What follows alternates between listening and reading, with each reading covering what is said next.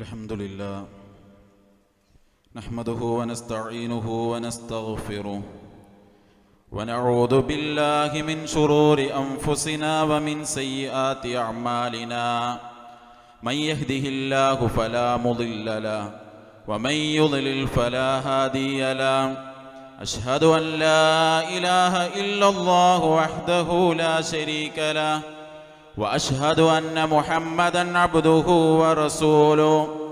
أرسله بالحق بشيرا ونذيرا وداعيا إلى الله بإذنه وسراجا منيرا. اللهم صل على محمد وعلى آل محمد كما صليت على إبراهيم وعلى آل إبراهيم. إنك حميد مجيد. اللهم بارك على محمد وعلى آل محمد كما باركت على إبراهيم وعلى آل إبراهيم. إنك حميد مجيد. أما بعد فإن خير الكلام كلام الله. وخير الهدي هدي محمد صلى الله عليه وسلم. وشر الأمور محدثاتها وكل محدثة بدعة وكل بدعة ضلالة وكل ضلالة في النار. يا أيها الذين آمنوا اتقوا الله حق تقاته ولا تموتن إلا وأنتم مسلمون. اللهم رب اشرح لي صدري ويسر لي أمري واحلل عقدة من لساني يفقه قولي. أيها الإخوان والأخوات أوصيكم وإياي أولا بتقوى الله. أعوذ بالله من الشيطان الرجيم. بسم الله الرحمن الرحيم أفحسبتم أنما خلقناكم عبثا خلقناكم عبثا وأنكم إلينا لا ترجعون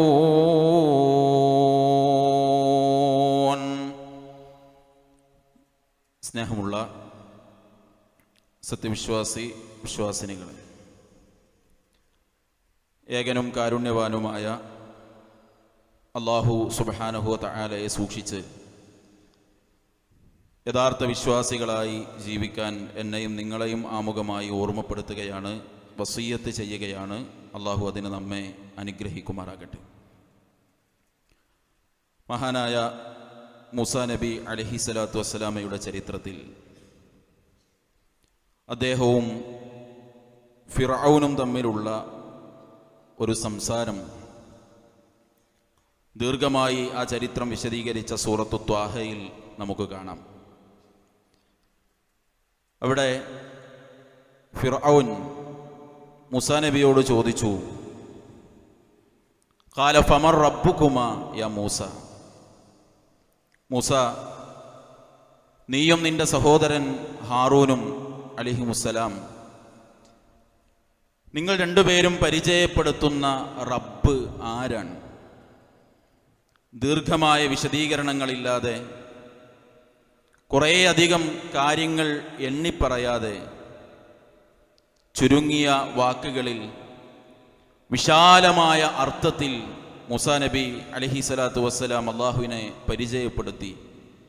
അദ്ദേഹം പറഞ്ഞു കാല റബ്ബുനല്ലതി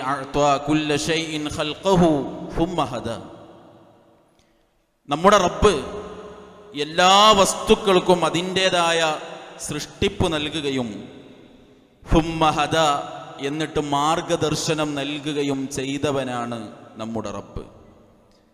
ഓരോ വസ്തുവിനെയും അതിന്റെ ഘടനക്കനുസരിച്ച് അതിന്റെ അവസ്ഥക്കനുസരിച്ചുള്ള സൃഷ്ടിപ്പ് നൽകുകയും എന്നിട്ട് ഓരോ വസ്തുവിന്റെയും നിലനിൽപ്പ് സാധ്യമാകാൻ അതിന്റെ ജീവിത രീതി എങ്ങനെയാകണമെന്ന് കൃത്യമായ മാർഗദർശനം നൽകുകയും വഴി കാണിക്കുകയും ചെയ്തവനാണ് എന്റെ റബ്ബ് എന്ന് മൂസ അലഹി സ്വലാത്തു വസ്സലാം വിശദീകരിച്ചു കൊടുക്കുകയുണ്ടായി. അള്ളാഹു സുബാനഹു താലയെക്കുറിച്ച് വിശാലമായി ചിന്തിക്കേണ്ട ഒരു പ്രയോഗമാണ് ഇവിടെ മൂസ നബി നടത്തിയിട്ടുള്ളത്. വ്യത്യസ്ത ജന്തുജാലങ്ങൾ മൃഗങ്ങളുണ്ട് പക്ഷികളുണ്ട് ഇഴജന്തുക്കളുണ്ട്. ഓരോ ജീവജാലങ്ങളെയും സൃഷ്ടിച്ച് അത് എങ്ങനെ അതിന്റെ ജീവിതത്തെ മുന്നോട്ട് കൊണ്ടുപോകണമെന്ന് വ്യക്തമായ മാർഗദർശനം നൽകുകയും കാഴ്ചപ്പാട് പകർന്നു കൊടുക്കുകയും ചെയ്ത് എല്ലാറ്റിനും ഒരു ജീവിതക്രമം അള്ളാഹു സുബാനഹു താല നിശ്ചയിച്ചു കൊടുത്തിട്ടുണ്ട് എന്ന്. മനുഷ്യരായ നമ്മെ സംബന്ധിച്ചിടത്തോളം നമുക്കും വളരെ ശുദ്ധമായ ഒരു പ്രകൃതവും വളരെ വ്യക്തതയുള്ള ഒരു ജീവിത ശൈലിയും ജീവിത രീതിയും അള്ളാഹു സുബാനുഹു താല നമുക്കും നിശ്ചയിച്ച് തന്നിട്ടുണ്ട്. ആ ശുദ്ധ പ്രകൃതിയെ ആ ജീവിതക്രമത്തെ മനസ്സിലാക്കി അതിനനുസരിച്ച് ജീവിക്കുക എന്നതാണ് വിശ്വാസികൾ എന്ന നിലയ്ക്ക് അള്ളാഹുവിന്റെ അടിമകൾ എന്ന നിലയ്ക്ക് നമ്മുടെ ഓരോ മനുഷ്യരുടെയും ബാധ്യതയായിട്ടുള്ളത്. വിശുദ്ധ ഖുറാനിന്റെ മുപ്പതാം അധ്യായം സൂറത്തു റൂമിന്റെ മുപ്പതാമത്തെ ആയത്തിൽ അള്ളാഹു വതആല പറഞ്ഞു ഫഅഖിം വജ്ഹക ലിദ്ദീനി ഹനീഫ ഫിത്രത്തല്ലാഹി അല്ലദീ ഫതറ الناس عليها لا تبديل لخلق الله ذلك الدين القيم ولكن أكثر الناس لا يعلمون فأقم وجهك للدين حنيفا ഫഅഖിം വജ്ഹക് നിന്റെ മുഖത്ത് നീ നേരെയാക്കണം ലിദ്ദീനി ഹനീഫ ശുദ്ധമായ പ്രകൃതത്തോടുകൂടി ശുദ്ധമായ വ്യവസ്ഥയോടുകൂടി അള്ളാഹു സുബഹാനഹു താല നിശ്ചയിച്ചു തന്നിട്ടുള്ള മതത്തിലേക്ക് നിന്റെ മുഖത്തെ നീ നേരെയാക്കണം. അതനുസരിച്ച് നീ നിന്റെ ജീവിതത്തെ ക്രമീകരിക്കണം. ജനങ്ങൾക്ക് അള്ളാഹു നിശ്ചയിച്ചു കൊടുത്ത ശുദ്ധ പ്രകൃതമാണത് തീർച്ചയായും അള്ളാഹുവിന്റെ സൃഷ്ടിപ്പിൽ അള്ളാഹു വെച്ച സൃഷ്ടി വ്യവസ്ഥകളിൽ ഒരു മാറ്റം അത് ഉണ്ടാവുകയില്ല. അതാണ് ഏറ്റവും വക്രതയില്ലാത്ത നേരെ ചൊവ്വയുള്ള മതം ആ പ്രകൃതമാണ് ആ പഠിപ്പിച്ച പാഠങ്ങൾ ഉൾക്കൊള്ളുന്ന ദീനി ക്രമമാണ്. എന്നിട്ട് അള്ളാഹു പറഞ്ഞു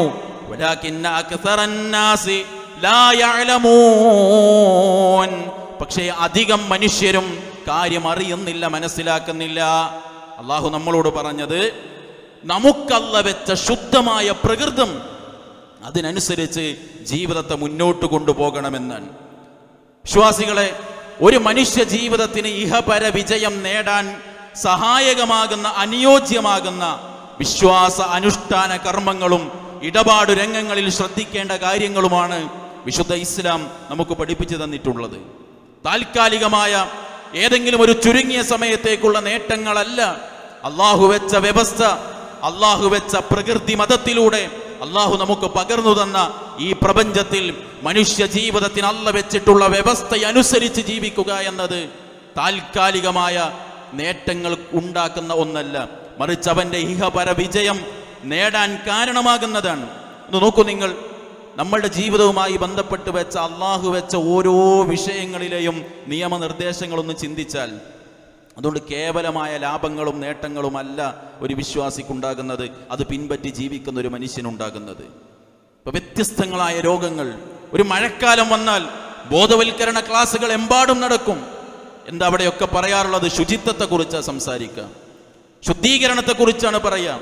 വൃത്തിയും വെടുപ്പുമുള്ള ജീവിതമില്ലാത്തതാണ് വ്യത്യസ്ത രൂപങ്ങളിൽ വ്യത്യസ്ത പേരുകളിൽ അനുദിനം രോഗങ്ങൾ വ്യക്തി പല രൂപത്തിൽ മനുഷ്യരിലേക്ക് കടന്നു വരുന്നതിന്റെ അടിസ്ഥാന കാരണമായി പലപ്പോഴും ആളുകൾ പറയാറുള്ളത് ശുദ്ധീകരണവുമായി ബന്ധപ്പെട്ട് ശുചിത്വവുമായി ബന്ധപ്പെട്ട് ശ്രദ്ധിക്കേണ്ട കാര്യങ്ങൾ ശ്രദ്ധിക്കാത്തത് കൊണ്ടാണ് എന്നാണ് അതുകൊണ്ടാണ് കോവിഡ് അടക്കമുള്ള കാര്യങ്ങൾ വന്നപ്പോൾ ഏറ്റവും കൂടുതൽ നമ്മെ പഠിപ്പിച്ചത് കൈകൾ വൃത്തിയായി കൊണ്ടു നടക്കണമെന്നാണ് എത്ര കൃത്യമാണ് വിശുദ്ധ ഇസ്ലാമിന്റെ ആ രംഗത്തുള്ള നിർദ്ദേശം? എത്ര വ്യക്തതയിലാണ് പ്രവാചകൻ സല്ലല്ലാഹു അലൈഹി വസല്ലം പഠിപ്പിച്ചത്? അത്തുഹൂർ ഈമാൻ. ശുദ്ധിയോടുകൂടി വൃത്തിയുള്ള ജീവിതം നയിക്കുക എന്നത് വിശ്വാസത്തിന്റെ പാതിയാണ് എന്ന് പഠിപ്പിക്കുക മാത്രമല്ല ഒരു സത്യവിശ്വാസി ദിവസവും അഞ്ചു നേരം അവന്റെ ശരീരത്തിന്റെ നല്ലൊരു ഭാഗവും കഴുകി വൃത്തിയാക്കുകയാണ്. അവൻ ഉളുവെടുക്കുമ്പോൾ സഹോദരങ്ങളെ പലതിലും പോയി സ്പർശിക്കാനും പല നിലക്കും പലതും വന്ന് പറ്റാനും സാധ്യതയുള്ള ഇടങ്ങളെല്ലാം കഴുകി വൃത്തിയാക്കിയിട്ടാണ് ഓരോ ദിവസവും ചുരുങ്ങിയത് അഞ്ചു നേരം അള്ളാഹുവിന്റെ മുന്നിലേക്ക് നമ്മൾ എഴുന്നേറ്റ് നിൽക്കുന്നത്. അവിടെ മാനസിക ശുദ്ധിയോടൊപ്പം ശാരീരികമായ വൃത്തി വിശ്വാസിയുടെ ജീവിതത്തിൽ ദിനേന ഉണ്ടാകാനുള്ള പാഠങ്ങൾ അള്ളാഹു സുബാനുഹുല പഠിപ്പിക്കാൻ. നിർബന്ധമാണ് ചില രംഗങ്ങളിൽ അവൻ കുളിക്കുക എന്നത്. നിർബന്ധമായും കുളിക്കണം. നിർബന്ധമായ കുളി നിർവഹിക്കുമ്പോൾ അവന്റെ ശരീരത്തിന്റെ മുഴുവൻ ഭാഗങ്ങളിലും വെള്ളമെത്തി എന്ന് അവൻ ഉറപ്പുവരുത്തണം എത്ര വ്യക്തമാണ് ഇസ്ലാം ആ രംഗത്ത് നമുക്ക് പഠിപ്പിച്ചു തന്നിട്ടുള്ള പാഠങ്ങൾ. ആഴ്ചയിൽ ഒരു ദിവസമെങ്കിലും ശരീരത്തിൽ മുഴുവൻ വെള്ളമെത്തുന്ന രൂപത്തിൽ കുളിച്ചു വൃത്തിയാകൽ പുണ്യമാണ് വിശ്വാസിക്ക്. അതുകൊണ്ട് തന്നെ വെള്ളിയാഴ്ച ദിവസം ജുമഴക്ക് പുറപ്പെടുന്നതിന്റെ മുൻപുള്ള കുളി പെരുന്നാൾ ദിവസങ്ങളിൽ അവൻ കുളിക്കുന്ന കുളി അതിന് അള്ളാഹു അവന് പ്രതിഫലം നൽകും. എന്ന് പഠിപ്പിച്ചുകൊണ്ട് ശുദ്ധിയോടുകൂടി ജീവിക്കണമെന്ന പാഠം ഇസ്ലാം പകർന്നു തന്നു. അത് കേവലമായ ഒരു ആരാധനയുടെ ഒരുക്കം എന്നതിൽ മാത്രം ഒതുങ്ങി നിൽക്കുകയല്ല. മനുഷ്യന് ഭൗതികമായും അതുകൊണ്ട് നേട്ടങ്ങൾ ഉണ്ടാക്കിയെടുക്കാൻ കഴിയുന്നു. പാരത്രിക വിജയം അവൻ അതിലൂടെ നേടിയെടുക്കാൻ കഴിയുന്നു. ആ നിലയ്ക്ക് അള്ളാഹു പഠിപ്പിച്ചു. കച്ചവട രംഗത്തുള്ള ഇസ്ലാമിന്റെ മാർഗനിർദ്ദേശങ്ങൾ കച്ചവടം ചെയ്യുന്നവന് ലാഭമുണ്ടാകണം എന്നതു മാത്രമല്ല കച്ചവടത്തിലൂടെ സംഭവിക്കേണ്ടത്. അത് വാങ്ങുന്നവൻ അതിന്റെ ഉപകാരം ഉണ്ടാകണം. അതുകൊണ്ട് തന്നെ വാങ്ങുന്നവനും വിൽക്കുന്നവനും ഒരിടത്തും വഞ്ചിക്കപ്പെടാൻ പാടില്ല. രണ്ടു പേർക്കും പ്രയാസമുണ്ടാകാൻ പാടില്ല. രണ്ടു പേർക്കും തൃപ്തിക്കുറവുണ്ടാകാൻ പാടില്ല. അതിന് എത്ര വ്യക്തമായിട്ടാണ് ഇസ്ലാം ആ രംഗത്തുള്ള പാഠങ്ങൾ പഠിപ്പിച്ചു തന്നത്? രണ്ടുപേരുടെയും തൃപ്തി രണ്ടു പേർക്കും തെരഞ്ഞെടുക്കാനുള്ള സ്വാതന്ത്ര്യം എല്ലാം അള്ളാഹു സുബാനുഹു താല കൃത്യമായി പഠിപ്പിച്ചു തന്നു. താൽക്കാലിക ലാഭമുണ്ടാകുമെങ്കിലും ശാശ്വത നഷ്ടത്തിലേക്ക് എത്തുന്ന പലിശ ഇടപാടിന്റെ ഏതെങ്കിലും ഒരു രംഗത്ത് സ്പർശിക്കുന്ന ഒരു കച്ചവട രീതിയും ഒരു വിശ്വാസിക്കുണ്ടാകാൻ പാടില്ല എന്ന് വളരെ വ്യക്തമായി റസൂലുള്ളാഹി സ്വല്ലല്ലാഹു അലൈഹി വസല്ലമ നമുക്ക് പഠിപ്പിച്ചു തന്നു. അള്ളാഹു വെച്ച പ്രകൃതത്തിന്റെ ഭാഗമാണതൊക്കെ. ഭക്ഷണത്തിന്റെ കാര്യത്തിൽ എന്തെങ്കിലും കഴിക്കുക എന്നല്ല ഇസ്ലാം പഠിപ്പിച്ചത്. വിശപ്പ് മാറുക എന്നതല്ല അത് മാത്രമല്ല ഭക്ഷണത്തിന്റെ ലക്ഷ്യമായി പഠിപ്പിച്ചത്. വിശപ്പ് മാറുക എന്നത് ഭക്ഷണം കഴിക്കുന്നതിന്റെ ലക്ഷ്യം തന്നെയാണ്. പക്ഷെ അത് മാത്രമല്ല ഭക്ഷണം കഴിക്കുന്നതിലൂടെ ലക്ഷ്യമായി കാണേണ്ടത് അവന്റെ വിശപ്പ് മാറണം രുചിയുള്ളതായിരിക്കണം. അതോടൊപ്പം അത് അനുവദിക്കപ്പെട്ടതാകണം അത് ശരീരത്തിന് ഉപകാരപ്പെടുന്നതാകണം അത് തൊയ്യീബാകണം വൃത്തിയും വെടുപ്പുമുള്ളതാകണം. റസൂലുള്ളാഹി സ്വല്ലല്ലാഹു അലൈഹി വസല്ലം അങ്ങനെ പഠിപ്പിച്ചു. വിശുദ്ധ ഖുർആൻ ആവർത്തിച്ച് നമ്മെ ഓർമ്മപ്പെടുത്തി സൂറത്തുൽ മാഇദയുടെ എൺപത്തി എട്ടാമത്തെ ആയത്തിൽ അല്ല പറഞ്ഞില്ല നിങ്ങൾക്ക് അല്ല തന്നതിൽ നിന്ന് ഹലാലായത് നിങ്ങൾ കഴിക്കണം. അവിടെ അവസാനിപ്പിച്ചില്ല. കഴിക്കുന്നത് ഹലാലായതാണ്. ഹലാൽ കഴിക്കുമ്പോൾ തന്നെ അത് തൊയ്യബുമായിരിക്കണം. അത് വിശുദ്ധമായിരിക്കണം. വൃത്തിയുള്ളതായിരിക്കണം. കാരണം വിശപ്പ് മാറിയാൽ മാത്രം പോരാ. ആ ഭക്ഷണം കഴിച്ചതിന്റെ പേരിൽ ഒരു പ്രയാസമുണ്ടാകരുത്. അത് ശരീരത്തിന് പ്രതികൂലമായി ബാധിക്കരുത്. അത് ശരീരത്തെ അപകടപ്പെടുത്തരുത്. അതുകൊണ്ട് വൃത്തിയുള്ളതായിരിക്കണം കഴിക്കുന്നത്. ഭക്ഷണവുമായി ബന്ധപ്പെട്ടുള്ള നിർദ്ദേശങ്ങളിൽ മറ്റുള്ളവരെ പരിഗണിക്കാൻ റസൂൽ സല്ലല്ലാഹു അലൈഹി വസല്ലമ പറഞ്ഞു. അയൽവാസി വിശന്നിരിക്കുമ്പോൾ വയറ് നിറയെ കഴിക്കുന്നവൻ നമ്മിൽപ്പെട്ടവനല്ല എന്ന് പഠിപ്പിച്ചു. ഭക്ഷണ രംഗത്ത് നിങ്ങൾക്ക് തിന്നാം കുടിക്കാം. വല തുസ്രിഫു. പക്ഷെ നിങ്ങൾ ദുർവ്യയം കാണിക്കരുത് എന്ന പാഠം നമുക്ക് പഠിപ്പിച്ചു തന്നു. കഴിക്കുന്നത് വൃത്തിയുള്ളതും വെടുപ്പുള്ളതും മാത്രമല്ല ഹലാലാവണം അനുവദിക്കപ്പെട്ടതാകണം. അത് മറ്റൊരുത്തന്റെത് കവർന്നെടുത്ത് കഴിക്കുന്നതാകരുത്. മറ്റൊരുത്തന്റെ പണം കവർന്നെടുത്ത് വാങ്ങി വാങ്ങിക്കഴിക്കുന്ന ഭക്ഷണം കൊണ്ടും വിശപ്പ് മാറും. പക്ഷേ അത് മറ്റൊരുത്തന്റെ വേദനയുണ്ടതിൽ മറ്റൊരുത്തന്റെ കണ്ണുനീരുണ്ടതിൽ മറ്റൊരുത്തന്റെ വിയർപ്പുണ്ട് അധ്വാനമുണ്ടതിൽ. അതുകൊണ്ട് ആ നിലക്കുള്ള ഭക്ഷണ രീതി ഒരു വിശ്വാസിക്ക് പാടില്ല. എത്ര വിശാലമാണ് അള്ളാഹു വെച്ച ഈ പ്രകൃതത്തിൽ മനുഷ്യന് ജീവിക്കാൻ അല്ല പഠിപ്പിച്ചു തന്ന പാഠങ്ങൾ. ആ പാഠങ്ങൾ ഉൾക്കൊണ്ട് ജീവിക്കണമെന്നാണ് അള്ളാഹു സുബഹാനുഹ ആര നമ്മെ ഓർമ്മപ്പെടുത്തിയത്. വസ്ത്രം ധരിക്കുക എന്നത് കേവലമായ ഒരു അലങ്കാരം മാത്രമായിട്ടല്ല ഇസ്ലാം നമ്മെ പഠിപ്പിച്ചത്. അലങ്കാരമാണ് ഒരു മനുഷ്യനവന്റെ വസ്ത്രം. അതോടൊപ്പം അത് അലങ്കാരം എന്നതിൽ മാത്രം നിൽക്കേണ്ടതല്ല. അതിനപ്പുറം അവനൊരു സുരക്ഷിതത്വം ആ വസ്ത്രധാരണത്തിലൂടെ ലഭിക്കണം. വിശുദ്ധ ഖുർആനിൽ സൂറത്തുൽ അഹ്സാബിന്റെ അമ്പത്തിയൊമ്പതാമത്തെ ആയത്തിൽ അല്ല പറഞ്ഞില്ലേ സ്ത്രീകൾക്കുള്ള വസ്ത്രധാരണത്തെ രീതിയെക്കുറിച്ച് അവരുടെ പെരുമാറ്റരംഗത്തെ മര്യാദകളെക്കുറിച്ച് ദീർഘമായി വിശദീകരിച്ച് അവിടെ അള്ളാഹു പറഞ്ഞു അങ്ങനെയുള്ള ശരീരം വ്യക്തമായി മറയുന്ന രൂപത്തിലുള്ള നല്ല വസ്ത്രം ധരിക്കുക എന്നത് തിരിച്ചറിയപ്പെടാനും ശല്യം ഇല്ലാതിരിക്കാനും ശല്യപ്പെടുത്തൽ ഇല്ലാതിരിക്കാനും അതാണ് ഏറ്റവും അനുയോജ്യമായ രീതി. വസ്ത്രം ധരിക്കുക എന്നുള്ളത് ഒരു പ്രദർശനമായിട്ടല്ല അള്ളാഹു നമ്മളെ പഠിപ്പിച്ചത്. വസ്ത്രം ധരിക്കുക എന്നത് താൽക്കാലികമായ ഒരു അലങ്കാരത്തിൽ മാത്രം ഒതുങ്ങി നിൽക്കണമെന്നല്ല ഇസ്ലാം പഠിപ്പിച്ചത്. അലങ്കാരമാണ് മനുഷ്യനവന്റെ വസ്ത്രം. അതോടൊപ്പം അതവന് സുരക്ഷിതത്വം നൽകണം. തിരിച്ചറിയപ്പെടുന്നതായിരിക്കണം എന്ന് വളരെ കൃത്യമായി ഇസ്ലാം ആ രംഗത്തുള്ള നിർദ്ദേശങ്ങൾ നമുക്ക് പകർന്നു തന്നു.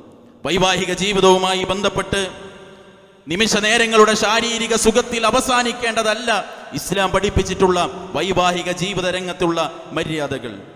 ശാരീരിക സുഖം എന്നതിനപ്പുറം അതവനൊരു സംരക്ഷണമാണ്.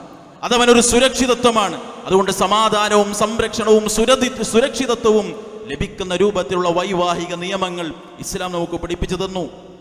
നിദേന നമ്മൾ കേൾക്കുന്ന നിക്കാഹ് ഹുത്തുബകളിൽ ആവർത്തിച്ച് നമ്മൾ കേൾക്കുന്ന സൂറത്തു റൂമിലെ ഇരുപത്തിയൊന്നാമത്തെ ആയത്ത്. എത്ര വ്യക്തം. അള്ളാഹു പറഞ്ഞില്ല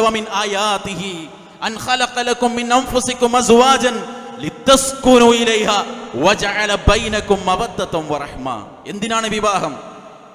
എന്തിനാണ് ഒരു മനുഷ്യന് മനുഷ്യരിൽ നിന്നുള്ള ഒരാണിന് ഒരു പെണ്ണിനെ അള്ളാഹു ഇണയാക്കി നിശ്ചയിച്ചു തന്നത്? ലിത്തസ്കുനു ഇലൈഹ സമാധാനം കണ്ടെത്താനാണ്. സ്വസ്ഥതയുള്ള ഒരു ജീവിതം നയിക്കാനാണ്. തളർന്നു വരുന്നിടത്ത് താങ്ങായി കൂടെ നിൽക്കാൻ ഒരാളുണ്ടാവാനാണ്. വേദനിക്കുന്നിടത്ത് സാരമില്ലെന്ന് പറഞ്ഞ് ആശ്വാസം നൽകാൻ സമാധാനത്തിന്റെ വാക്ക് പറയാൻ കൂട്ടിനൊരാളുണ്ടാകാനാണ്. ലിത്തസ്കുനു ഇലൈഹ. സമാധാനമടയാനാണ് വൈവാഹിക ജീവിതത്തെ അള്ളാഹു നമുക്ക് പഠിപ്പിച്ചു തന്നത്. ഹിറാ ഗുഹയിൽ നിന്ന് മലക്കിനെ കണ്ടു പേടിച്ചോടി വരുന്ന പ്രവാചകൻ സല്ലല്ലാഹു അലൈഹി വസല്ലമക്ക് സമാധാനമായിരുന്നു. ഖദീജ റതി അൻഹ എന്ന ഭാര്യ സമാധാനത്തിനുള്ളതാണ് വൈവാഹിക ജീവിതം. നമുക്കറിയില്ലേ? നമുക്കിടയിൽ ജീവിച്ച തലശ്ശേരിയിൽ ഉണ്ടായിരുന്ന നമ്മളുടെ ഒരു കാരണവർ. അദ്ദേഹം മരണപ്പെട്ടു പോയി. അള്ളാഹു അദ്ദേഹത്തിന് മകഫറത്ത് നൽകുമാറാകട്ടെ.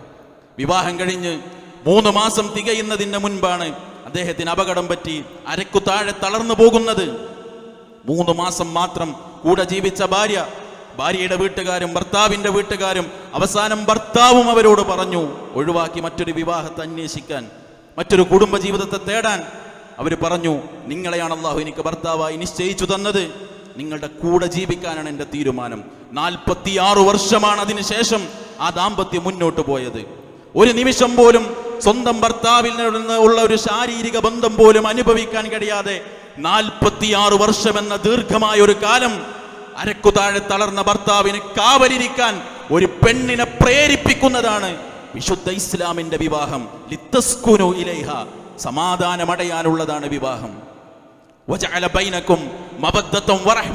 അതുകൊണ്ട് തന്നെ കേവലം തന്റെ സുഖങ്ങളിൽ മാത്രം ചിന്തിക്കുക എന്നതല്ല വറഹ്മ. സ്നേഹത്തിന്റെയും കാരുണ്യത്തിന്റെയും കൈമാറ്റം നടക്കാനുള്ളതാണ് വിശുദ്ധ ഇസ്ലാമിന്റെ വിവാഹം. എത്ര വ്യക്തമാണ് വൈവാഹിക ജീവിതത്തിലെ ഇസ്ലാം വെച്ച ഫിത്രത്ത് ഇസ്ലാം വെച്ച ശുദ്ധ പ്രകൃതത്തിന്റെ രീതി അള്ള വെച്ച നിയമങ്ങൾ. മാത്രവുമല്ല അത് തനിക്ക് തലമുറകളുടെ നിലനിൽപ്പിനുള്ളതാണ് വിവാഹം. ഒരിടത്ത് തളർന്നു പോകുമ്പോൾ താങ്ങുതരാൻ മക്കൾ ഉണ്ടാകേണ്ടതാണ് വിവാഹം. അതുകൊണ്ട് റസൂൽ സല്ലല്ലാഹു അലൈഹി വസല്ലം പറഞ്ഞത് വലൂദ്. നന്നായിട്ട് സ്നേഹിക്കാൻ കഴിയുന്ന നന്നായിട്ട് പ്രസവിക്കുന്ന സ്ത്രീകളെ നിങ്ങൾ വിവാഹം കഴിച്ചോളൂ. കാരണം മക്കൾ ഉണ്ടാകണം തലമുറകളുടെ തുടർച്ചയുണ്ടാകണം. പ്രായമായി തളർന്നുപോയി വീടിന്റെ ഒരു മൂലക്കലേക്ക് ഒതുക്കപ്പെടുന്ന സമയത്ത് ഉപ്പ എന്ന് വിളിച്ച് ശരീരത്തിൽ തലോടി സാന്ത്വനിപ്പിക്കാൻ കഴിയുന്ന മക്കൾ ഉണ്ടാകണം അതിനാണ് വിവാഹം. ഇങ്ങനെ ഇസ്ലാം വെച്ച ഓരോ നിയമങ്ങൾ എടുത്തു നോക്കിയാലും മനുഷ്യർ മുന്നിൽ കാണുന്ന താൽക്കാലികതകളുടെ അപ്പുറത്ത് വിശാലമായ അർത്ഥതലങ്ങൾ ഉൾക്കൊണ്ടുകൊണ്ടാണ് അള്ളാഹു സുബാനഹുല മനുഷ്യനൊരു പ്രകൃതം തന്നത്. ആ മനുഷ്യനൊരു ജീവിതക്രമം നിശ്ചയിച്ചു തന്നത്. ആ മനുഷ്യ ജീവിതവുമായി ബന്ധപ്പെട്ട് നിൽക്കുന്ന എല്ലാ രംഗങ്ങളെയും അല്ല ക്രമീകരിച്ചത് ഇത്രമേൽ വിശാലമായ അർത്ഥതലങ്ങൾ ഉൾക്കൊണ്ടുകൊണ്ടാണ്. പക്ഷേ അള്ളാഹു തന്നെ പറഞ്ഞില്ലേ ഈ പ്രകൃതത്തെ തെറ്റിക്കാൻ ഷെയ്ത്താൻ ഇടപെട്ടുകൊണ്ടിരിക്കും. ഇത്ര വ്യക്തതയുള്ള ഇത്ര സമാധാനവും സ്വസ്ഥതയും ലഭിക്കുന്ന പരസ്പരം വിശ്വസിച്ച് ജീവിക്കാൻ കഴിയുന്ന ഈ വ്യക്തതയുടെ ശുദ്ധ പ്രകൃതത്തെ തെറ്റിച്ച് മനുഷ്യ ജീവിതത്തെ അലങ്കോലമാക്കാൻ മനുഷ്യ ജീവിതത്തെ തകർത്തു കളയാൻ ഷെയ്ത്താൻ ശ്രമിച്ചു കൊണ്ടിരിക്കുമെന്ന് അള്ളാഹു സുബാനഹു തആല നമ്മെ ഓർമ്മപ്പെടുത്തിയിട്ടുണ്ട്. കുതുസിയായ ഒരു ഹദീസിൽ നമുക്ക് കാണാം. അള്ളാഹു സുബ്ഹാനഹു തആല പറഞ്ഞതായി റസൂൽ സല്ലല്ലാഹു അലൈഹി വസല്ലം നമ്മെ ഓർമ്മപ്പെടുത്തുകയാണ്. ഞാൻ എന്റെ അടിമകളെ സൃഷ്ടിച്ചിരിക്കുന്നത് എല്ലാവരെയും നേരെ ചൊവ്വെ ജീവിക്കുന്ന വക്രതയില്ലാത്ത അവസ്ഥയിലാണ് ഞാൻ എന്റെ അടിമകളെ എല്ലാം സൃഷ്ടിച്ചിട്ടുള്ളത്.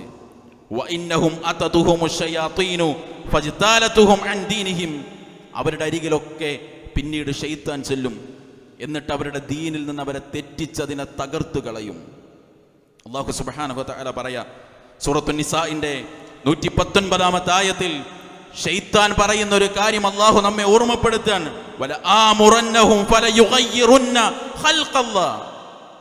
ഷെയ്ത്താൻ പറഞ്ഞത് എന്താ വല ആ മുറന്നഹും ഞാൻ അവരോട് ചിലത് കൽപ്പിക്കും. ഫല ഫലയുഗയ്യിറുന്ന ഖൽഖല്ലാഹ് അങ്ങനെ അള്ളാഹു വെച്ച ഈ സൃഷ്ടി പ്രകൃതിയുടെ വ്യവസ്ഥയെ അവർ അലങ്കോലമാക്കും. ശൈത്താൻ ഇടപെടുമ്പോൾ മനുഷ്യൻ അല്ല വെച്ച ഈ ശുദ്ധമായ ജീവിതക്രമം അത് അലങ്കോലമാകും അത് തെറ്റിപ്പോകും. ആ തെറ്റിപ്പോകുന്നതിന്റെ ദുരന്തപൂർണമായ കാഴ്ചയാണ് ഇന്ന് ലോകത്ത് നമ്മൾ കേൾക്കുന്നതും കാണുന്നതും വായിക്കുന്നതും. അല്ലേ? പിന്നെ ആർക്കും എന്തും പറയാ. അല്ല വെച്ച പ്രകൃതത്തിൽ ഷെയ്ത്താൻ ഇടപെട്ട് വരുമ്പോൾ അത് അലങ്കോലമാകുമ്പോൾ ആ ശൈത്താന് വകവെച്ച് ആ ശൈത്താൻ അടിമപ്പെട്ട് ജീവിക്കുന്നവന്റെ ജീവിതം അവന് തോന്നിയ പോലെയായിരിക്കും.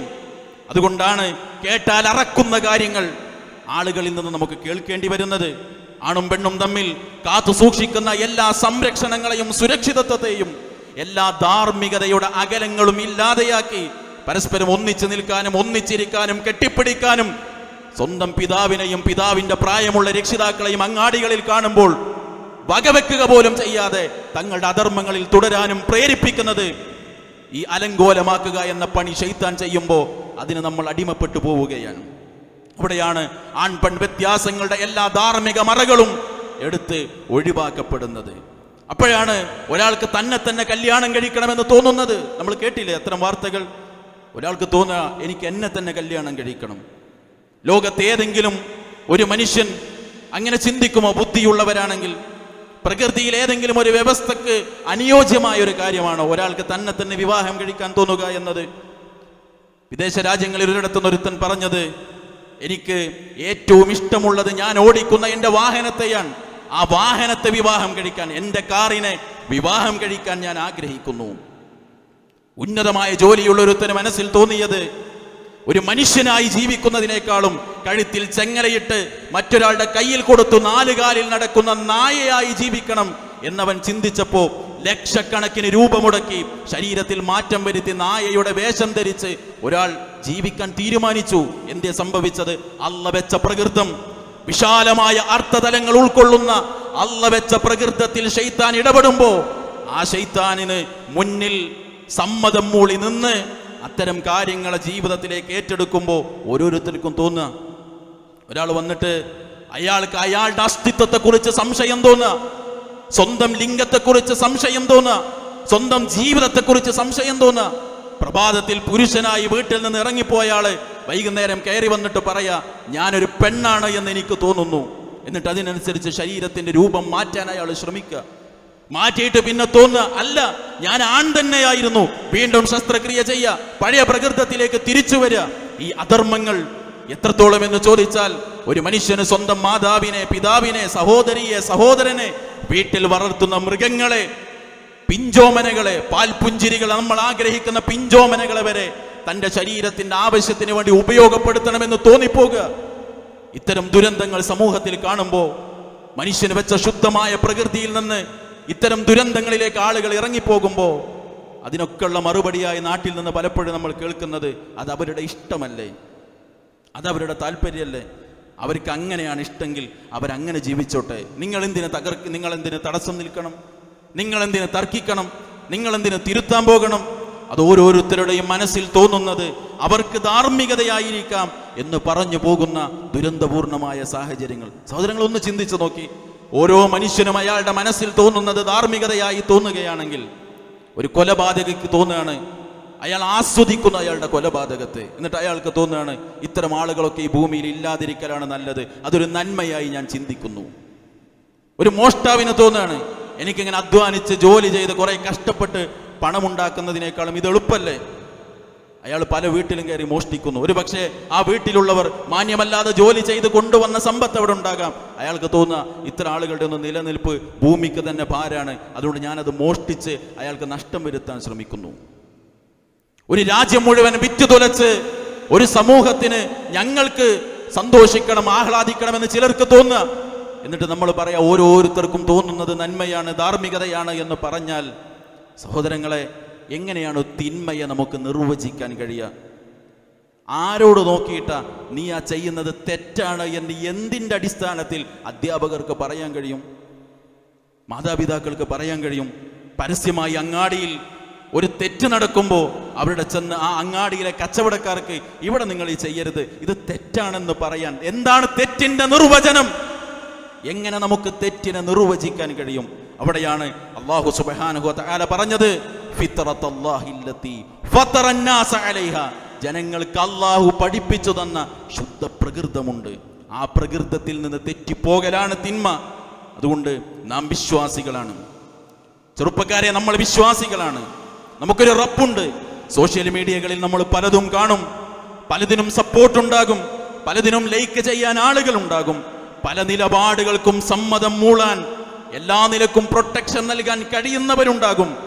നമ്മൾ വിശ്വാസികളാണ്. നമ്മളോട് സൂറത്തുൽ മുഅ്മിനൂനിന്റെ നൂറ്റി പതിനഞ്ചാമത്തെ ആയത്തിൽ അള്ളാഹു ചോദിച്ചൊരു ചോദ്യമുണ്ട്.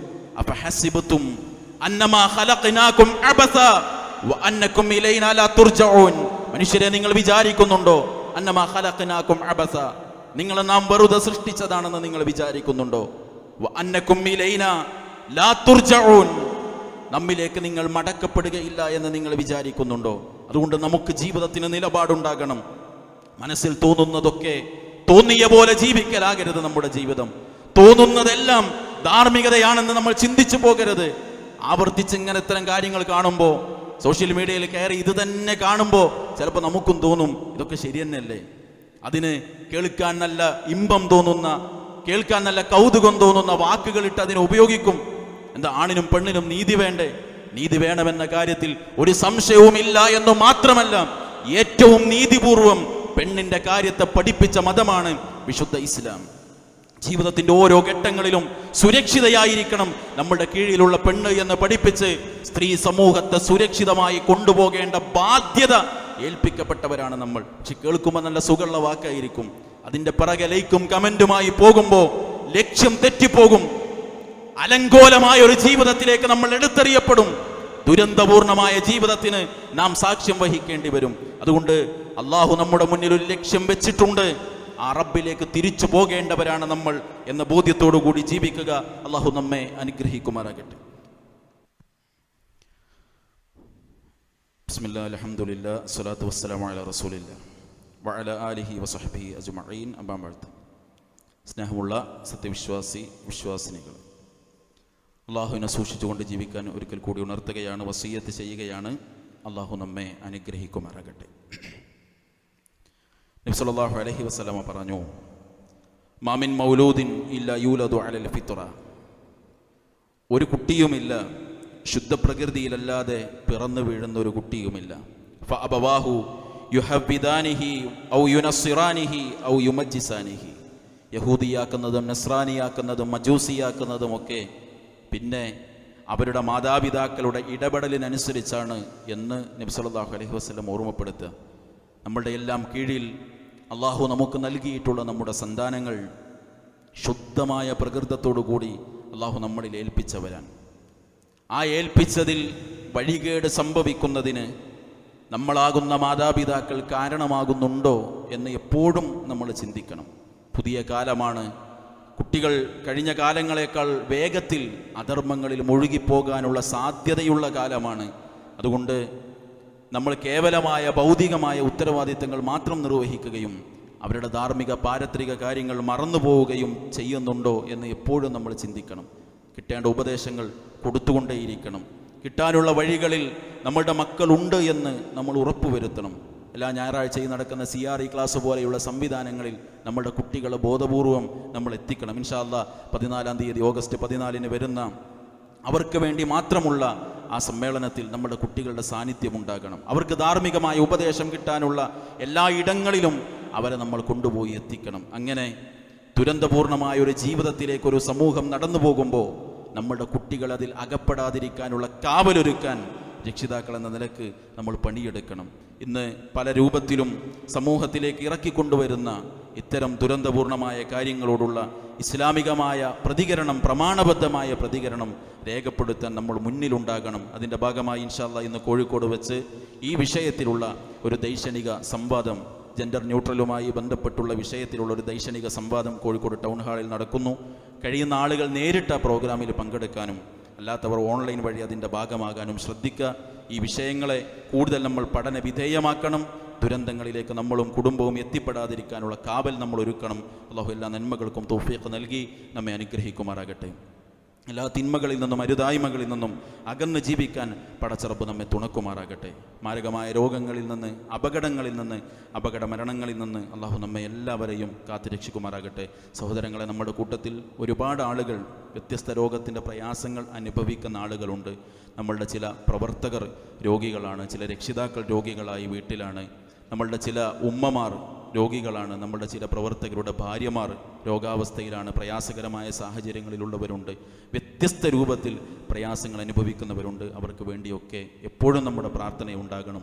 അള്ളാഹു സുബാനുഹു താല അവരുടെ എല്ലാ പ്രയാസങ്ങളും എല്ലാവർക്കും വേഗത്തിൽ നീക്കി കൊടുക്കുമാറാകട്ടെ വേഗത്തിൽ ആശ്വാസം കണ്ടെത്തി അവരുടെ രോഗങ്ങളിൽ നിന്ന് മോചിതരായി നന്മയോടൊപ്പം നമ്മളോടൊപ്പം വന്നു ചേരാൻ അള്ളാഹു അവർക്ക് എല്ലാവർക്കും തോഫീക്ക് നൽകി അനുഗ്രഹിക്കുമാറാകട്ടെ. ആ നിലക്കുള്ള രോഗാവസ്ഥകളിൽ നിന്ന് അള്ളാഹു നമ്മയും നമ്മുടെ മാതാപിതാക്കളെയും ഭാര്യാസന്താനങ്ങളെയും കുടുംബാംഗങ്ങളെയും എല്ലാവരെയും കാത്തുരക്ഷിക്കുമാറാകട്ടെ. അള്ളാഹു നമുക്ക് അനുഗ്രഹമായി നൽകിയ ശുദ്ധ പ്രകൃതത്തിലായിക്കൊണ്ട് തന്നെ മരണം വരെ ജീവിതത്തെ കൊണ്ടുപോകാനും ആ പ്രകൃതത്തിലായിക്കൊണ്ട് തൗഹീദ് പ്രഖ്യാപിച്ച് മരിക്കാനും പടച്ചറബ് നമ്മെ എല്ലാവരെയും അനുഗ്രഹിക്കുമാറാകട്ടെ. നല്ലൊരു ജീവിത രീതി കിട്ടിയിട്ടും അതിൽ നിന്ന് അകന്നു പോകുന്ന ഹതഭാഗ്യരിൽ നിന്ന് അള്ളാഹു നമ്മെ എല്ലാവരെയും കാത്തിരക്ഷിക്കുമാറാവട്ടെ. ഈ നാടിന്റെ നന്മയും ഒരുമയും ഐക്യവും സമാധാനവും സന്തോഷവും അള്ളാഹു നിലനിർത്തി തരുമാറാകട്ടെ. അതിനെ തകർക്കാനുള്ള പരിശ്രമങ്ങളെ അള്ളാഹു പരാജയപ്പെടുത്തുമാറാകട്ടെ. അള്ളാഹു മുഹ്ഫലിൽ മുഅ്മിനീന വൽ മുഅ്മിനാത്ത് വൽ മുസ്ലിമീന വൽ മുസ്ലിമാത്ത് വൽ അഹ്യാഉ മിൻഹു വൽ അംവാത്ത് മുജീബു ദഅവാതി യാ ഖാദി അൽ ഹാജാത്ത്. റബ്ബന ഹസന വഫിൽ ആഖിറതി ഹസനത വഖിന അദാബന്നാർ. നാർ വസലാമുൻ അലൽ മുർസലീൻ. വൽഹംദുലില്ലാഹി റബ്ബിൽ ആലമീൻ.